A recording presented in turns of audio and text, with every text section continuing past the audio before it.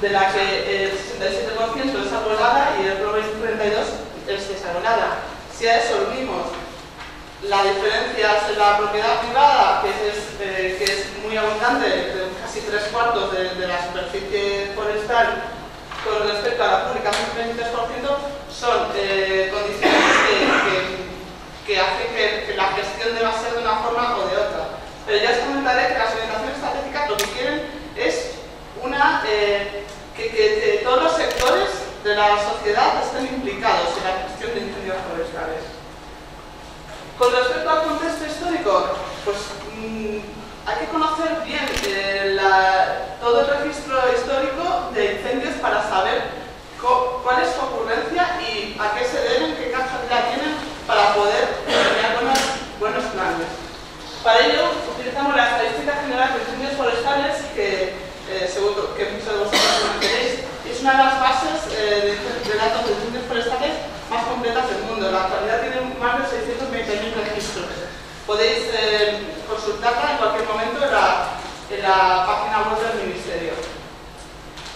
¿Cómo funciona la general de incendios forestales? Todas las comunidades autónomas nos envían sus partes de incendios forestales y sus partes de montes eh, al, Ministerio y nosotros lo recopilamos, lo revisamos y finalmente pues, sacamos publicaciones eh, analizando todo, todo lo que allí se, se, ha, se ha detallado.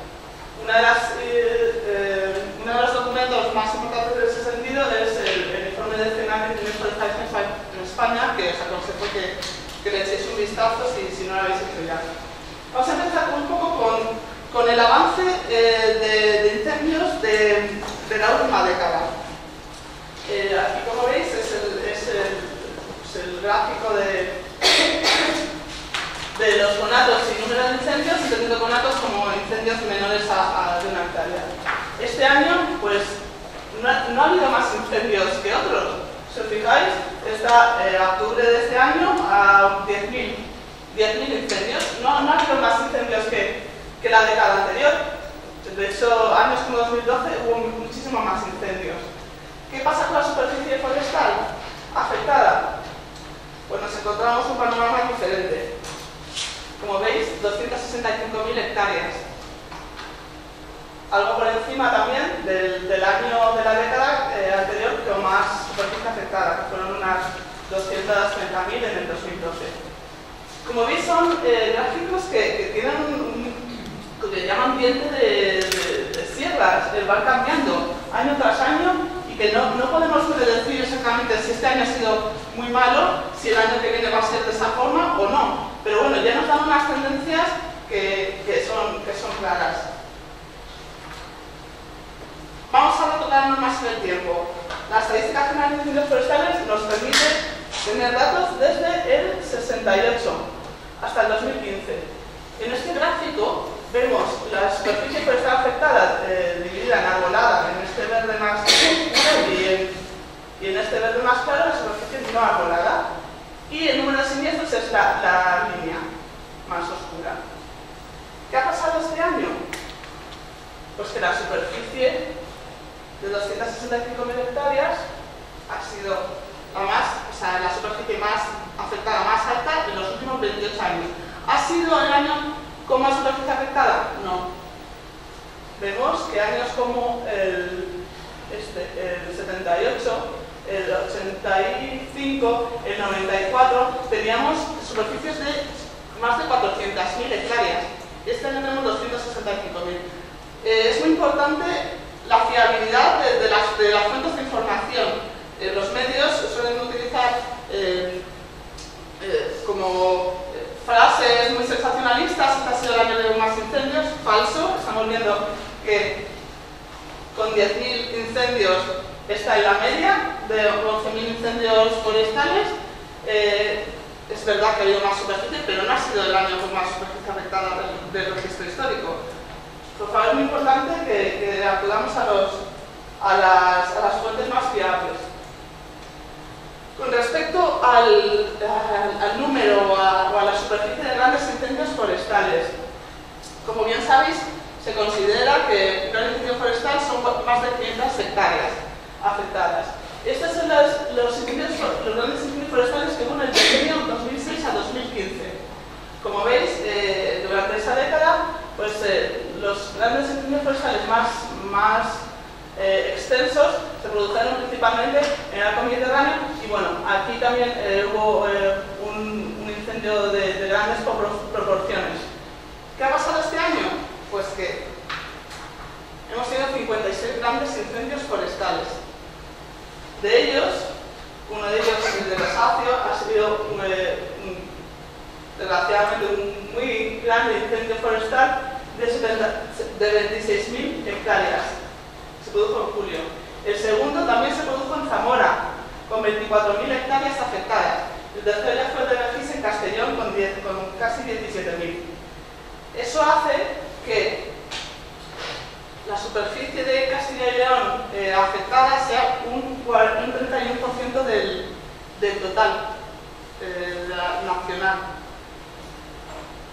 ¿Qué pasa? Se han producido 17 grandes incendios forestales este año en Castilla y León, que es una cifra eh, realmente alta no lo digo por Castilla y León, otros años eh, se produce en otros sitios diferentes, no, no se trata de, identificar la comunidad autónoma, pero es verdad que este año se han producido muchísimos grandes incendios forestales.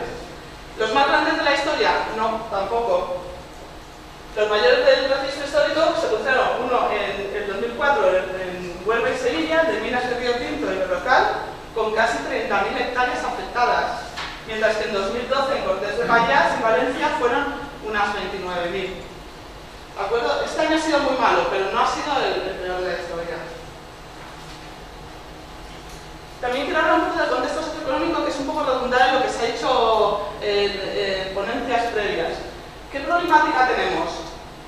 La, la causalidad. Si cogemos, analizamos datos de las estadísticas generales de incendios forestales, vemos que entre eh, negligencia, causas accidentales y incendios intencionados,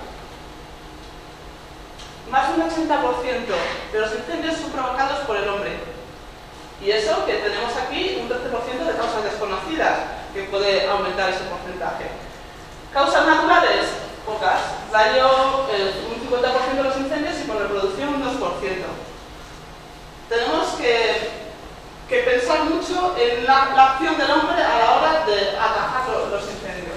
Otra problemática que ya se ha hablado aquí el abandono rural y el envejecimiento de la población. Este es un mapa de han perdido población en la década del 2011 a 2018. Habla por sí solo.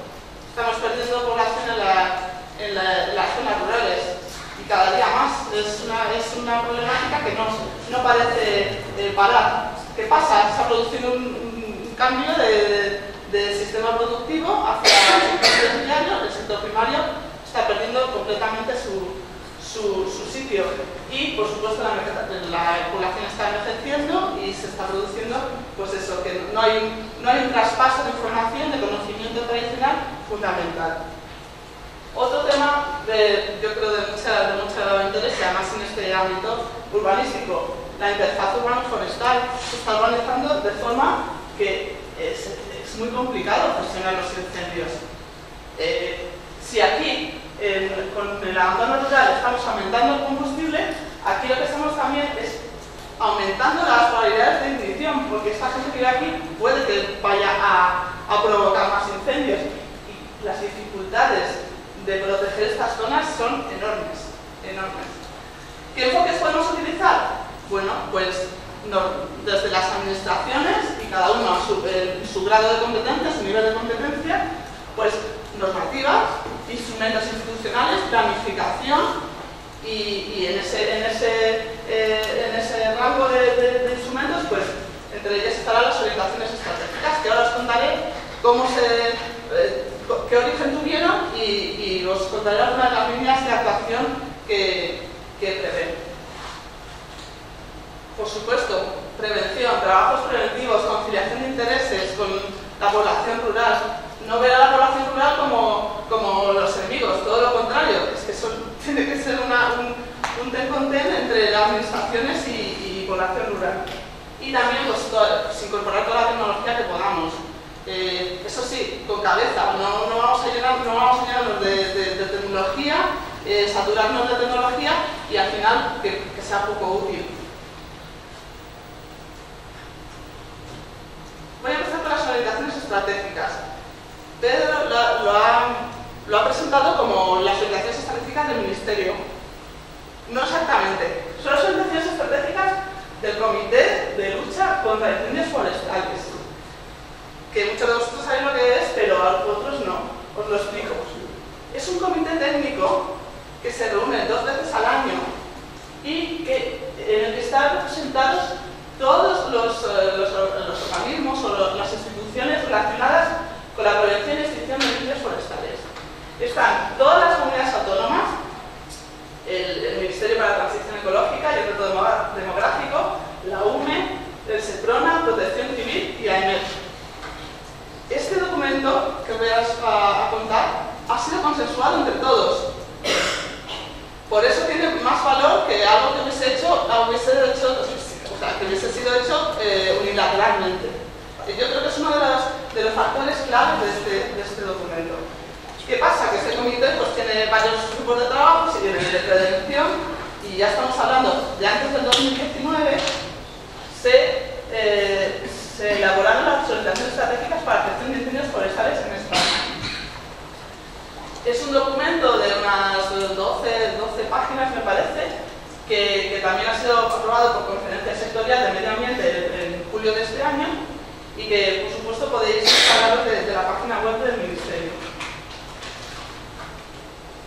Documento empieza hablando un poco de los antecedentes, cuál es lo que acabo de hablar, el, contexto. Un contexto de, tenemos un contexto de cambio climático, de transformación del medio rural, tanto social, social, económica y ecológica, y que está provocando unas situaciones de emergencia de mayor complejidad y consecuencias más negativas. Ante eso, ¿qué podemos hacer las administraciones? Pues crear un marco normativo, organizativo, estructural, que permita reducir la, la incidencia de incendios forestales, tanto en número como en superficies. En definitiva, es un problema transversal, es una, otra de las claves del, documento. No podemos decir los forestales, esto es solo una cosa nuestra. No, no, no, no.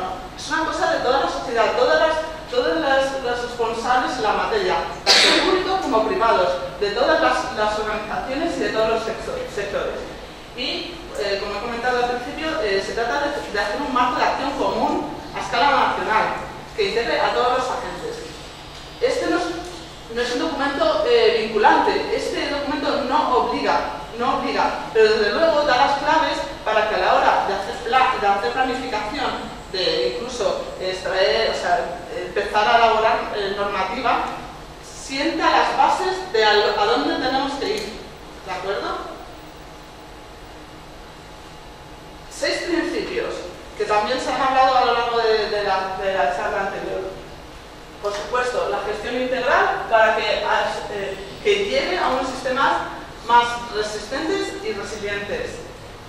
El interés social. Eh, las administraciones tenemos que prever el, bien común, el, interés general, sabiendo pues, eh, todo lo que es las prioridades, primero las personas y los dispositivos, los bienes luego, por último, el, entorno natural.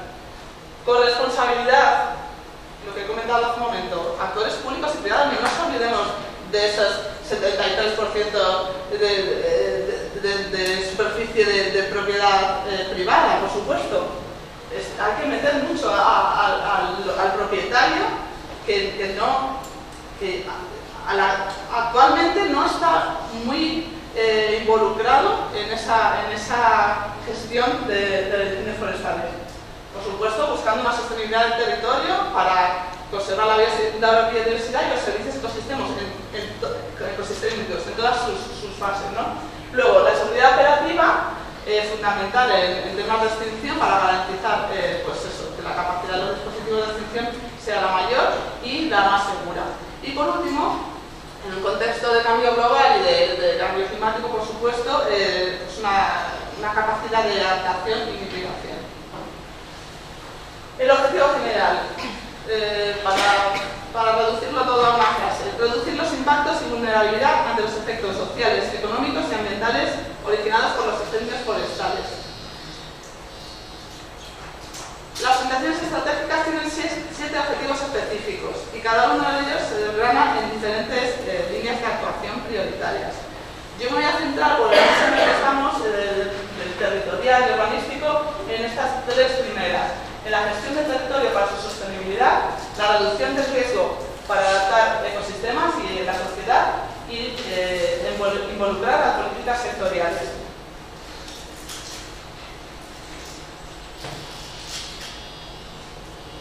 El objetivo específico del territorio para su se centra sobre todo en la gestión forestal sostenible y la multifuncionalidad. ¿Cómo vamos a conseguir que la, gente permanezca en, los pueblos, que la gente siga trabajando aprovechando sus explotaciones? Pues, pues eh, fomentando la agricultura tradicional, la ganadería extensiva y la silvicultura. Poner en valor los productos, eh, generar competitividad eh, de, las explotaciones forestales y, eh, como he comentado en uno de los principios, pues que haya una corresponsabilidad de los particulares en la gestión de, los montes. Y sobre todo, integrar los incendios forestales en la planificación territorial a diferentes niveles. Los planes de ordenación territorial, en el sector forestal los planes de ordenación de los recursos forestales, los espacios naturales protegidos, tanto los POR, los PRUG, los planes de autoprotección de los, de los parques nacionales y también los planes urbanísticos eh, deben, deben, tener en cuenta eh, la, gestión, o sea, los incendios forestales. ¿Cómo vamos a conseguir un paisaje mosaico, que es lo que teóricamente va a conseguir que los incendios no, se propaguen eh, hasta alcanzar una, pérdida de, capacidades de extinción? Pues eh, diversificando, eh, que, los, los, montes haya, haya, pues no voy a un poco de todo, pero que sí que, haya una, diferentes posibilidades para la gente que vive allí. Que haya gestión de fauna, de flora, que haya silvicultura, posibilidad de, recogida de productos forestales, setas, corcho, resinación, eh, mm, temas de, biomasa, de, los pastos, caza incluso, frutos. Tenemos que tener en cuenta eso, si no, no vamos a llegar a, conseguir que, haya una vuelta al campo, que son verdaderamente los que van a gestionar el territorio para que no se produzcan esos incendios forestales eh, de, mucha, de mucha envergadura. Segundo objetivo específico, reducir el riesgo, adaptar los ecosistemas a la sociedad. Como he dicho, hay que integrar el fuego en la planificación forestal y las actuaciones de prevención. Para ello, tenemos que hacer silvicultura preventiva clásica, fundamental, tenemos que seguir haciendo claras, clareos, bajas, cortafuegos, puntos de agua, infraestructuras, utilizar temas, temas prescritas que se, está demostrando que son, eh, es una herramienta muy útil de cara a, la, prevención de, incendios. ¿Y todo esto para qué? Pues para favorecer también un paisaje en mosaico, que es lo que he comentado, antes. Eh, tenemos que hacer unas infraestructuras que tengan, que tengan sentido, que, no, que, no, que, el, dinero que empleemos en ellos se traduzca en que, los incendios se hacen menos grandes y que los dispositivos tienen más seguridad. Para ello, un concepto actual que ahora os comentaré son los puntos estratégicos de gestión. Luego, eh, importantísimo, buscar conciliar los intereses entre la sociedad y la administración. Nosotros en, el Ministerio tenemos desde hace años en marcha eh, un, como un, dispositivo, unas brigadas que se llaman equipos de prevención integral, que lo que hacen es hablar con, los, propietarios, los agricultores, los ganaderos y eh, buscan conciliar intereses con ellos. Por ejemplo, quieren quemar para generar unos pastos pues los, hacen ellos mismos sin gasto alguno para, el propietario y de esa forma se consigue un una, eh, pues que los dos, que los dos ganemos, ¿no? En la administración no queremos que, que quemen de forma eh, incontrolada y ellos tienen su, su pasto eh, Y, eh, por supuesto, crear una cultura de riesgo. Estoy de acuerdo con lo que se ha dicho antes, la sociedad no se da cuenta del riesgo de los incendios forestales, no ha calado en, nuestra, sociedad la problemática. Hay años muy malos, como este, que, que están en los periódicos todos los días, pero es que esto eh, ocurre todos los años y no vale con, solo, solo, pensar en ello este año. Hay que hacerlo a, medio y largo plazo. Y por supuesto, potenciar la adopción de medidas de, autoprotección. Lo que os decía, eh, la semicultura preventiva está muy bien, es muy necesaria y se hacen eh, trabajos de clareo, de áreas de bajos cortafuegos, de todo tipo, eh, cortafuegos, puntos de agua, fundamental. Pero hay que ir añadiendo cosas nuevas y decir, ¿dónde vamos a hacer esos trabajos preventivos? Vamos a analizar bien dónde son más útiles. Para ello, el concepto este de, los puntos estratégicos de gestión o, o zonas estratégicas de gestión eh, es muy útil porque se analiza el territorio eh, utilizando pues, mapas de combustibles, eh, de ocurrencia de incendios, topográficos, un compendio de, de, cartografía para determinar cuáles son los puntos críticos donde cuando se, si está un, incendio, dónde se va a propagar eh, con mayor intensidad o cuáles son las zonas que van a provocar que el incendio se, se, extienda. ¿no? Entonces, eso permite generar estrategias que, eh, que indiquen dónde hacer los, trabajos preventivos. Por ejemplo, en este mapa que hicimos eh, en las Lourdes, una, se ve como estas zonas rojas sería lo más lógico, idealmente, hacer los trabajos preventivos. Trabajos preventivos, por ejemplo, eh, pues incentivar el, pastoreo, por ejemplo, o, otro tipo de, de prevención. Tercer objetivo este, eh, específico, pues involucrar las políticas sectoriales. Eh, política territorial, pues ya hemos hablado, es necesario meterlo en, todos los planes, eh, el concepto de, gestión de incendios. Política agraria, fundamental, tiene muchísima trascendencia y todavía no se, no, se ha trabajado en, intentar incorporar todo lo que, que tiene la política agraria común en el tema de gestión de incendios, ni por un lado ni por otro. Hay que trabajar mucho en ese sentido. Política industrial y energética, por lo que ha hablado de, temas de, biomasa y, demás. Políticas medioambientales, tenemos la Red Natura 2000, yo creo que uno de los países con más superficie de Europa y, tiene trascendencia en el territorio. Y, por supuesto tiene que, tiene que haber una conciencia de, gestión de incendios en políticas política educativa en la que las universidades y centros de investigación, eh, bueno, toda, toda, la infraestructura educativa tiene mucho que decir. Política judicial, judicial en la investigación de causas, luego en la, en, la judicialización de los, de los, de los casos, de, de, de, la causalidad de, incendios, y luego la política urbanística, que de la que luego hablaré, y la política de gestión de emergencias.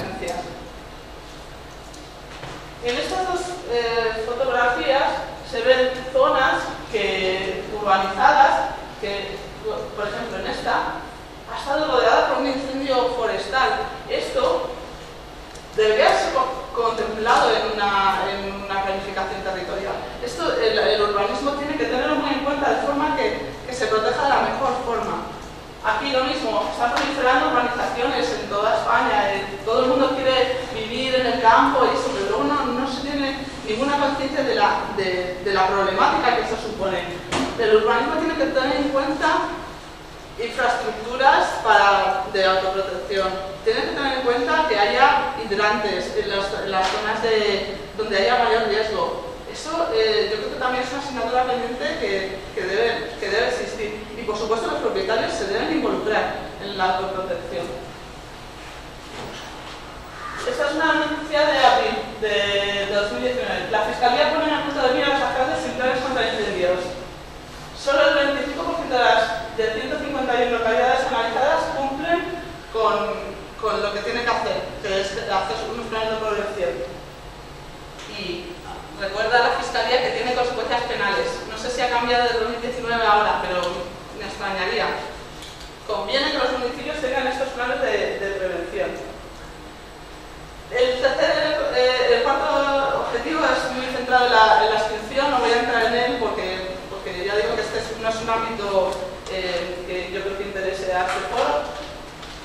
Pequeño inciso, prevención versus extinción. Eh, no son excluyentes, todo lo contrario. Es verdad que deberíamos equilibrar un poco más el, presupuesto dedicado a cada uno de ellos, pero la extinción ha sido clave para disminuir el número de incendios en España. Tenemos unos dispositivos con una experiencia eh, impresionante y que hacen una labor fabulosa. Este año, yo como técnico de guardia, eh, lo he vivido en, en propias carnes, hemos pasado 12 horas, 14 horas tomando decisiones todo el rato y los que están ahí en el incendio eh, eh, sabemos a ciencia cierta que han trabajado muy bien. Prevención, por supuesto, y si hacemos más prevención tendremos que hacer menos extinción, pero la extinción es fundamental, hay que actualizar las flotas y hay que, hay que permitir que eh, su seguridad sea máxima. En universidades, en, todo tipo de, pues en el sistema educativo en general, hay que profundizar en el conocimiento. Esto que estamos diciendo que los niños, los jóvenes, eh, ya los adultos, no tenemos conciencia de, no hay conciencia de fuego, no hay conciencia de incendio forestal. Tenemos que cambiarlo entre todos. Eh, tiene que haber eh, pues, definir los objetivos estratégicos de investigación, disponer de la cartografía básica, homogénea, armonizada, trabajar en la sociología, que también creo que es una asignatura pendiente, seguir apostando por la mejora de tecnología, por ejemplo, en, ámbitos urbanísticos, pues la habilidad asociada a interfaz urbano-forestal, eh, índices de vulnerabilidad, peligro, etc. Sexto, difundamos el mensaje. Eh, creo que estamos llegando a, unas conclusiones bastante parecidas. Vamos a intentar que, que todo esto se materialice y para eso necesitamos a toda la sociedad difusión. Eh, nosotros, por ejemplo, en el Ministerio hacemos muchas, muchas exposiciones y, material divulgativo. Y séptimo, eh, que voy a hablar solo un momentito, es incorporar las, las mejoras tecnológicas en todos los aspectos de la, de la gestión de incendios. Nosotros, por ejemplo, eh, tenemos un proyecto en el Ministerio que, en el que utilizamos inteligencia artificial para predicción de incendios forestales. Se llama Argaia eh, no sé si alguno de vosotros ha escuchado ya hablar de ella, pero creo que en el futuro se va a escuchar aún más. Utiliza, como digo, inteligencia artificial y se basa en eh, tres eh, datos fundamentales o tres sistemas de, base de datos fundamentales. En primer lugar, el histórico de incendios desde 1968, que proporciona la estadística general de incendios forestales, en, segundo lugar, eh, los datos socioeconómicos a partir pues, del Instituto Nacional de Estadística, población, censo, eh, paro registrado, renta disponible y añade las variables meteorológicas de, de que son actualizadas día a día. Tiene tres módulos Arbaya, pero en el ámbito de la planificación territorial este es el más interesante este predice o, indica el riesgo de ocurrencia de incendios a escala municipal por factores socioeconómicos. Incluye factores socioeconómicos, que os he comentado hace un momento, y la estadística general de incendios forestales. Y permite pues, hacer una valoración del riesgo de cada municipio, eh, siendo mm, los rojos los, los, que tienen más riesgo, los verdes los que, los que menos. ¿De acuerdo? Este sistema está en desarrollo, estamos trabajando en ello, pero eh, creo que es la inteligencia artificial, el Big Data es, algo en el que nos tenemos que, tenemos que subirnos a ese carro. Eh, sigamos utilizando innovaciones que puedan aportar algo a, la prevención y extinción de, de forestales. Y nada, muchísimas gracias por la atención.